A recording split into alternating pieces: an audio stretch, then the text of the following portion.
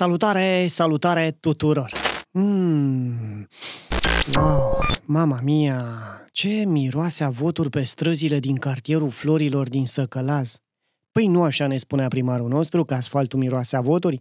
Așa că iată, pentru că alegerile bat la ușă, primarul a început să asfalteze pentru ca străzile să fie înmiresmate cu miros de voturi. La alții e o normalitate asfaltul, dar la noi asfaltarea e prezentată ca și cum ar fi fost realizată o navă spațială pe care săcălazul se pregătește să o lanseze în spațiul. În realitate s-a făcut ceva normal și, din păcate, nici nu mai contează că s-a întârziat câțiva ani suficienți pentru a se face cu incidență acum, înainte de alegeri. Nota bene, proiectul de asfaltare e al fostului primar, Ilie Todașcă, numai că actualul primar abia acum reușește să-l implementeze cu chiu cu vai. Acum e bine, bine că se face. Primul gospodar al săcălazului are o justificare a întârzierii. Păi cum altfel? Primarul are o explicație de fiecare dată, ci că i-au fost făcute reclamații și din cauza asta nu s-a putut asfalta. În sfârșit,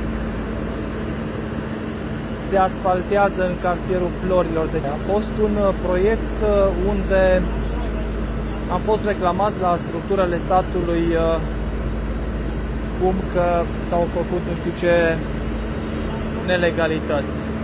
S-a dovedit că nu s-a făcut nicio nelegalitate și că proiectul poate continua. Toate controlele unde n-am avut prejudiciu și unde uh, sau care au venit în urma reclamațiilor candidatului PSD. Deci asta ca să știți. Curată ipocrizie, Coane Nicule, pentru că, oameni buni, dacă nu știați actualul primar, pe vremea elaltă, când era consilier, a dat tonul la reclamații și plângeri fiind cunoscut ca un reclamagiu și procesoman, având nouă procese cu primăria Săcălaz.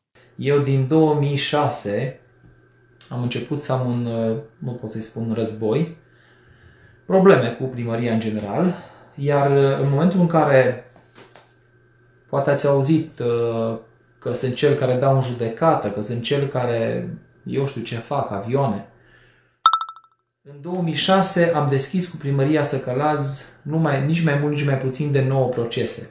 Ba chiar își posta și plângerea penală pe care au făcut la adresa fostului primar Todașcă, a unor angajați din primărie și a unor consilieri locali. Practic, Nicu Viorel mai avea puțin și reclama pe toată lumea. În plus, chiar consilierul Nicu ne povestea cum a mers el la Direcția Națională Anticorupție DNA să-l reclame pe Todașcă. O spunea chiar el, cu gurița lui. Uh, domnul Irinel Tofan, bună seara! Aș dori să știu de ce ați anunțat organele de control ale de ce nu ați anunțat organele de control ale statului în momentul în care ați constatat lucruri necurate în primăria Săcălaz? Cu drag domnul Irinel Tofan, veți fi surprins de răspunsul meu acum. Uh, nu-mi place să mă laud cu asemenea lucruri pentru că nu-mi stă bine din punct de vedere al creștinului. Dar uh, în privat aș putea să vă arăt toate plângerile penale pe care le-am făcut și la care, domnule Irnel Tofan, nu am primit nici un răspuns. Să vă dau un exemplu concret. Anul trecut, poate m-ați, m-ați auzit discutând de acel buget uh, trimis la finanțe într-un fel, în, după, sau după ce a fost votat în Consiliul Local uh, în favoarea și pentru comunității și pentru comunitate, domnul primar l-a trimis la finanțe total modificat, adică în felul în care și l-a dorit uh, domnia sa de la început. Uh, am fost cu ambele variante la DNA, ca să nu mai uh, discutăm, să nu mai vorbim de, la modul general de instituțiile statului. Am fost cu el la DNA, momentul în care am rămas, nu surprins, am rămas dezamăgit total. Uh, o doamnă procuror nici măcar nu a atins acele documente pentru a nu putea spune vreodată că a luat contact cu documentele. În acest context, domnul Irinel, nu rămânea decât eventual să îmi dau foc în fața prefecturii sau ceva de genul ăsta pentru a fi băgat în seamă. Am înțeles la vremea respectivă că domnul primar nu poate fi bătut, cu ghilimele de rigoare, bătut politic, decât prin voturi. Din, acest, din această cauză, Uh, m-am cam lăsat de făcut uh, acele plângeri. Acum, reclamațiile nu-i mai plac domnului primar. Rolul meu nu să fac rău. Rolul meu e, nu știu, să fac bine, pentru că iubesc să călază. Nu, rolul meu nu e să mă duc să fac o plângere. Primarului nostru îi plac reclamațiile doar când le face el, nu când îi le fac alții. Așadar, Cine a fost cel care se ocupa de reclamații pe vremuri? Și totuși, în ciuda plângerilor și a reclamațiilor pe care le-a tot făcut Nicu Viorel, Fostul primar Todașcă n-a fost niciodată condamnat, deși Nicu Viorel îl acuza mereu pe Todașcă de faptul că fură, fostul primar n-a fost condamnat pentru infracțiunile de care Nicu l acuza de fiecare dată fără probe. Oamenii lui Todașcă care împart, împreună cu el, bineînțeles, împart banii voștri tuturor. Încă o furăciune marcată Todașcă. Deci vedeți cum se fură banii dumneavoastră, ai noștri, ai tuturor de fapt. Așa că haide să mai votăm încă o dată pe Todașcă. Să poată fura la nesfârșit împreună cu gașca lui de hoț. Știm deja, e de notorietate, politicianul Nicu acuză pe toată lumea. Cine nu e cu el, e împotriva lui. În final, să precizăm că dreptul de petiționare este un drept prevăzut de lege, drept de care a uzat și actualul primar pe vremea când el făcea reclamații fostului, dar de care, iată, căuzează și alții care, acum, îl reclamă pe el în calitate de primar. Cum ar spune cineva, karma se întoarce. Și pentru că susținătorii politici ai primarului vor să rămână la borcanul cu miere, își fac datoria și prezintă realizările mărețe ale șefului, pentru că nu e așa, un primar de aur trebuie șlefuit ca să strălucească mai bine. Așa că în spațiul public al Facebook, ați auzit băieți, spațiul public, consilierii săi i-au prezentat marea realizare. Consilierul selfie chiar le spunea celor care îndrăzneau să comenteze negativ la adresa șefului său de aur că, citez, și invidia e mare. Ați auzit, bă, invidioșilor, vă e ciudă că asfaltează primarul? Ciocu mic, Invidioșilor, haideți, nu mai fiți, mă, invidioși, că asfaltarea se face acum înainte de vot. Așa, și, hai, gata cu cârcota, tăiați-vă iarba la poartă, plătiți-vă taxele și impozitele și ziceți bre, mersi, că următorul asfalt îl mai vedeți în campania din 2028. Priviți ca și comparație cum arată marginea carosabilului a drumului, marginea de lângă asfalt, la noi și cum arată în comuna Parța. Ăia din Parța cred că ar trebui să rezilieze contractul cu firma. Lângă asfalt nu trebuie să fie, domne, piatră, ci iarbă, Așa ca la noi, la să călas. În plus, harnicul primar n-a văzut și el iarba aia de pe lângă drum. No, primăria ta e iarba unde vrea. Oricum, ce mai contează? Oricât ar fi iarba de mare, asfaltul tot miroase a voturi. Mmm, ai ce bine miroase. Mmm, miere cu miros de voturi. Nu uitați, oameni buni, când mergeți la vot să nu uitați de mirosul ăsta de asfalt, mirosul de voturi și să-l votați pe primarul care lucrează din 4 în 4 ani. Lasă că las, parfum la modă este acum nu Aquadigio, ci aqua di vot. Ca să-i treacă supărarea și răutatea domnului primar, vin și eu cu un mesaj pupincurist la adresa excelenței sale.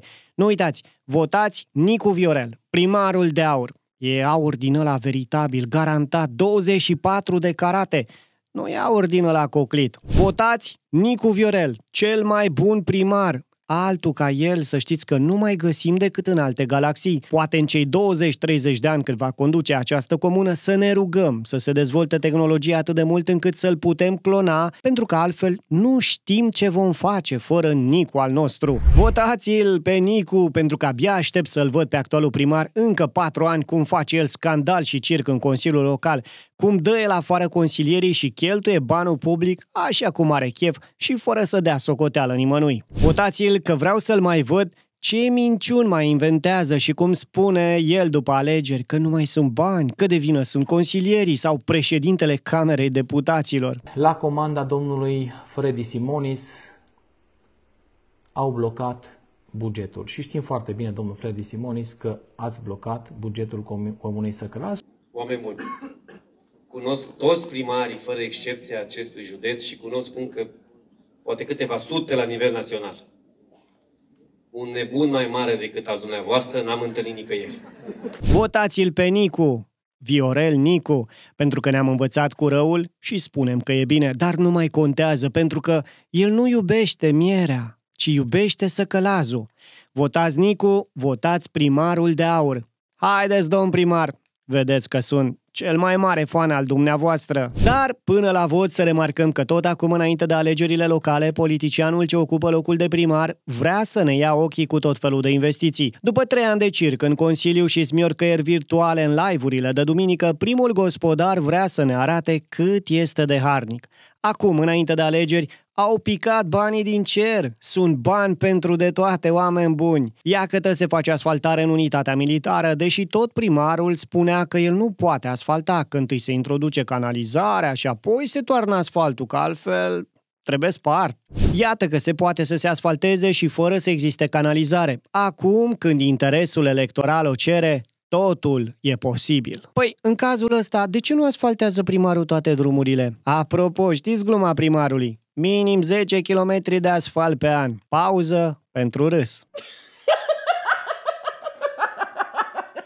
Păi, măcar să asfalteze, că dacă așteptăm după canalizare, unii vor ieși la pensie, alții vor pleca săraci în ceruri și canalizarea tot nu va mai fi. Măcar să aibă oamenii asfalt și să scape de praf și de noroaie. Concluzia e că se poate asfalta dacă se vrea. Că nu s-a asfaltat până acum, convingerea mea este că nu s-a vrut. Dar nu mai contează. E bine că se face și înainte de alegeri. Tot înainte de alegerile din acest an, primarul ne-a prezentat și parcul moștenit de la Todașcă. L-a făcut primarul actual în stilul lui de mântuială, fără iarbă și fără copaci mari, la umbra cărora să stai, că, nu așa, unul dintre motivele întârzierii parcă a fost și acela că nu putea să planteze pomii. Uitați-vă așa, dacă sunteți interesați, dacă vă pasă, cum arată parcul făcut de primarul nostru și uitați-vă cum arată un alt parc făcut de un alt primar. Unul de Tinichea, probabil, nu un primar de aur ca al nostru. Al nostru acum se plânge că proiectul n-a prevăzut gazon și instalație de irigație. Păi și dacă n-a prevăzut, primarul nostru, cel mai harnic primar din Timiș, nu putea, domne, să suplimenteze lucrarea cu o sumă neeligibilă și să pună el gazon și sistem de irigații? Putea, dar n-a făcut-o. De ce n-a făcut-o?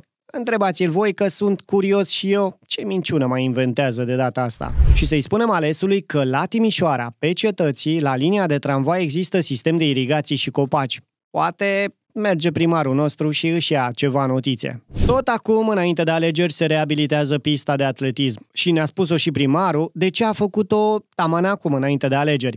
Aici, în acest moment, se execută o lucrare la o pistă de alergare. Poate mulți se vor întreba de ce facem o pistă de alergare și nu facem o secțiune de canalizare sau de asfaltat undeva.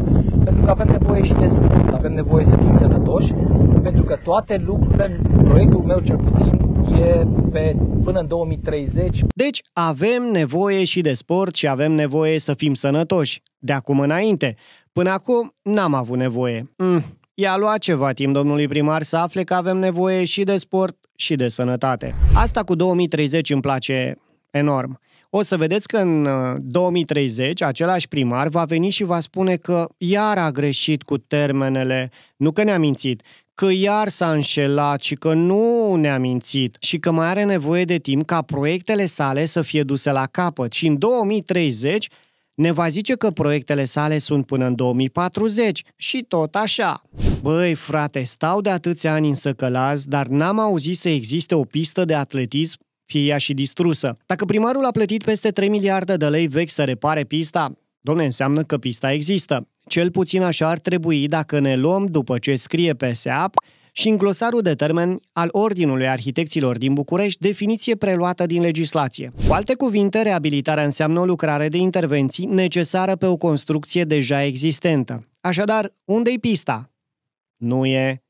Reabilitarea a fost doar un artificiu legal prin care primarul să facă pista acum, pe repede înainte, ca să ne păcălească înainte de alegeri. Dacă spunea că e o investiție nouă, ar fi trebuit să o prevadă în bugetul pe acest an și să treacă prin Consiliu costurile acesteia. Nu. Primarul a luat primăria pe persoană fizică și face ce vrea, cum vrea și când vrea, fără a da socoteală nimănui. Probabil că cineva i-a dat ideea acum și a zis primarul, perfect, facem. Dar ce ne facem când am prevăzut-o în lista de investiții? Noi nimic, șeful, avem noi soluție și pentru asta. Zicem că o reparăm, deși nu avem, pe ideea că, știți, domne, mulți văd, puțin pricep. Așa că se întâmplă o minune. Va fi reabilitată pista de atletism care nu există. Investiția asta, pentru că de fapt este o nouă investiție camuflată într-o reabilitare, ne demonstrează încă o dată faptul că dacă primarul ar fi vrut, în acești trei ani, ar fi realizat o mulțime de lucruri. Dar dacă ține prosteala înainte de alegeri, Bine că se face. De să dăm și alte exemple. Atunci când oamenii se plângeau că trotuarul din fața casei e distrus sau că nu au tub de scurgere la poartă, primarul ieșea live și spunea că banii sunt insuficienți, Woo! că trebuie respectate proceduri, proiecte, SF-uri și alte chestii legale. Bla, bla, bla. Trecea totul pe reabilitare și se făcea rapid. Avem deja exemplul cu pista inexistentă. Asta ne mai arată că atunci când e interes electoral, se face. Dar în restul timpului, când politicianul nu e presat de vot, lucrurile pot suferi amânare, iar oamenii pot fi mințiți pentru că oamenii uită repede și trec cu vederea pentru că nu e așa, bine că se face. Și ca să încheiem pe tema asta, cât a fost el de longeviv, fostului primar Todaș că nu i-a trecut, domne, prin cap șmecheria asta, să reabiliteze totuși ceva ce nu există. Pare că învățăcelul Nicu își depășește mentorul Todașcă. Tot acum, înainte de alegeri, primarul ne arată că e preocupat de educație. Ca să uităm că n-a premiat cu burse performanță, adică elevii premianți, și că i-a mințit cu mâncarea gratuită, primarul repară curtea interioară a școlii foarte bine. Era și timpul. Numai că astfel de lucrări se fac de obicei în timpul vacanței de vară. Au, problema, pentru că vacanța e după alegerile locale, iar primarul trebuie să arate acum, înainte de 9 iunie, că lucrează, domne, în forță. Ceea ce m-a uimit în această situație a fost atitudinea agresivă a ilustrului consilier Pânzariu, care, în replică, la opinia unei doamne, a spus că, citez, eu nu înțeleg de unde atâta frustrare că se amenajează curtea școlii. Ia uzi, deci doamna care și-a exprimat opinia era o frustrată. Încă puțin și ăștia pe care noi am ales o să ne ia și la bătaie într-o zi dacă îndrăznim să nu fim de acord cu ei. Ce frustrare, boss! Păi în trei ani ați fi reparat curtea aia de trei ori. De ce n-ați făcut-o harnicilor până acum? Nu răspundeți că știm deja. O faceți acum pentru că aveți nevoie de voturi și ne arătați acum cât sunteți voi de harnici. Foarte bine. Țineți-o tot așa, la fiecare trei ani să vă faceți că lucrați pentru noi. Mințiți-ne și luați-ne de proști. Pare că deveniți tot mai buni în asta. Și că tot am amintit iar de masa copiilor să vedeți cum de fiecare dată politicianul Nicu era blocat. Când era consilier, îl bloca primarul. Din păcate, atunci când am proiectele mele cumva duceau la uh, cheltuirea unei sume considerabile și e vorba de masa copiilor, unde suma era undeva de 280.000-300.000 de euro pe an, eram blocat de fiecare dată de către primar. Când a ajuns el primar, ci că l-a blocat Consiliul Local. Convingerea mea e că s-a blocat singur pentru că probabil a ajuns la concluzia că elevii nu merită nici premii și nici masă gratuită. Păi nu de-aia au părinți, să le dea, domnule, părinții și premii și de mâncare. Păi, cum, să le dea primăria? Toate să le facă primăria? Dar ce primarul, domne, moașă? Era moașă doar când era Todașca. Acum primarul face doar ce vrea. Și încă ceva. Oameni buni. Tot înainte de alegeri, primăria îi anunță pe tinerii care au făcut cerere la legea 15 că trebuie să-și actualizeze dosarele până la sfârșitul acestei luni. Bă, vă bate joc, mă? Păi asta trebuia să-i anunțați pe tineri încă din toamna lui 2020 sau cel mai târziu primăvara lui 2021. Nu acum că vin alegerile. Păi asta înseamnă accelerare? Terenul pe legea 15, vă întreabă Eugen Zidaru, pe când? Uh, cât mai repede și tuturor, tuturor celor care au, uh, au uh, cerere. Bă, pe bune, voi chiar ne luați de proști, mă? Păi nu zicea primarul Vio că va da teren cât mai repede și tuturor care au cereri la legea 15? Nu există decât o condiție să atribui cu o singură condiție și anume să aibă buletin de săcălaz. Buletin de săcălaz cu o anumită vechime, restul condițiilor scoase. Altă minciună. N-a scos nicio condiție. Le-a păstrat pe cele vechi. Dar nu fiți scârcotași, primarul e și el om. Oameni buni, mai și minte. Ci că primarul va da terenuri fără pile și nepotisme. Fără uh, nepotisme și fără pile și relații. Dacă, dau un exemplu, o persoană, o rudă de-a mea, cumva sau îndeplinește condițiile legale, bineînțeles, la fel ca și restul care îndeplinesc aceste condiții legale, Uh, va primi. Să nu fiți mirați dacă vor lua teren tocmai cei care au făcut cerere în mandatul primarului Nicu vor lua teren înaintea celor care așteaptă de ani și ani. Surprize, surprize! Ba mai mult, în live-ul său din acest an, nu din cele de trist amintire, primarul a cerut tinerilor să treacă pe la biroul primarului pentru a-și actualiza dosarul. Adică vrea personal să-i mintă frumos că doar dacă va fi el primar vor primi terenuri? Hm? E o întrebare. Înclin totuși să cred că dacă altul ar fi fost primar, deja o parte din tineri ar fi avut casa construită pe terenul primit de la primărie. Dar acum ne spune domn primar că ci că nu vrea să creeze un scandal provocat de nemulțumirile celor care nu vor primi teren înainte de alegeri. Am văzut că deranjează faptul că nu vreau, nu doresc să atribui teren înainte de alegeri.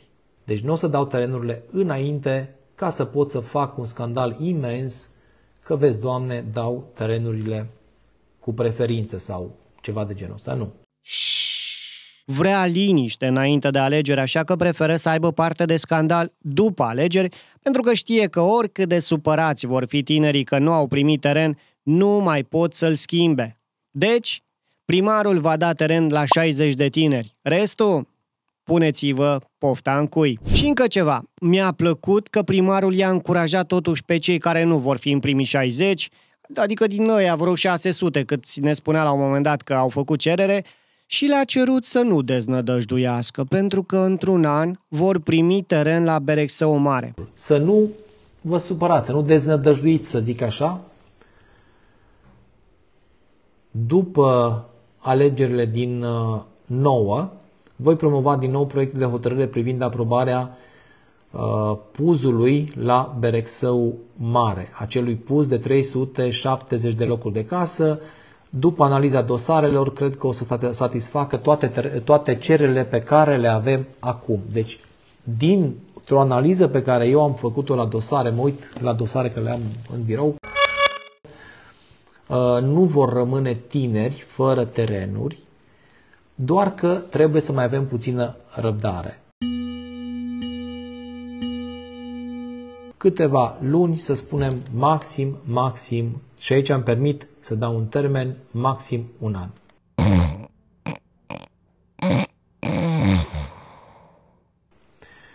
Așa că cei care nu veți primi terenuri acum, după 9 iunie veți primi, eu știu, în următoarele 11 luni, să spunem.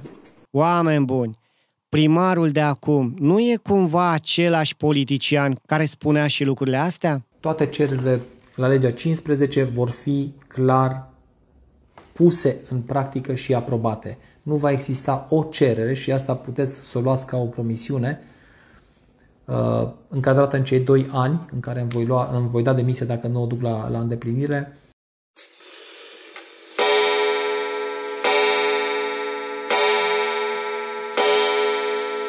nu va fi o cerere care să nu fie pus proprietarul sau cel care a făcut cererea să nu fie pus în proprietate la legea 15. Toate cererile vor fi uh, uh, rezolvate favorabil. Da, în 2020 a promis că va da teren tinerilor în 2 ani. Le-a dat țeapă. Acum în 2024 le spune tinerilor că le va da teren într-un an, care va să zică nu s-a ținut de cuvânt și nici n-a dat teren în patru ani, dar va da într-un an? Oameni buni, și dacă ar fi așa, ce ați primi? Un teren în câmp, fără gaz, fără canalizare, fără energie electrică și fără apă? Păi credeți că vor fi introduse utilitățile pe câmpul de la Berexău Mare într-un an? Da, sigur, sigur că da. Așa va fi doar pentru că vi-o spune primarul. Mm-hmm. Hai să încheiem. Așa că acum, înainte de alegeri, bine că se face și acum. La fiecare patru ani ni se servește aceeași prosteală și politicienii, da, ei, sunt fericiți pentru că noi încă mai înghițim minciunile lor. Să ne fie de bine. Domnilor politicieni, așa să faceți și în următorul mandat. Trei ani să vă faceți că munciți și înainte de alegeri să dea iar hărnicia în voi. Hai, succes să aveți și în 2028. Până atunci așteptăm să treacă alegerile din 9 iunie și să câștige iarăși domn primar, ca apoi să iasă live și să se plângă și să ne spună că nu mai sunt bani, că iar sunt de vină consilierii și că guvernul nu-i alocă fonduri și de-aia primarul nu face. Din vina altora, nu din vina sa. Ehe, nu știm noi, dar viitor de aur să călazul are. Votați Nicu Viorel, un primar de aur, aur de 24 de carate. Deci nu tinichele din alea poleite cu aur.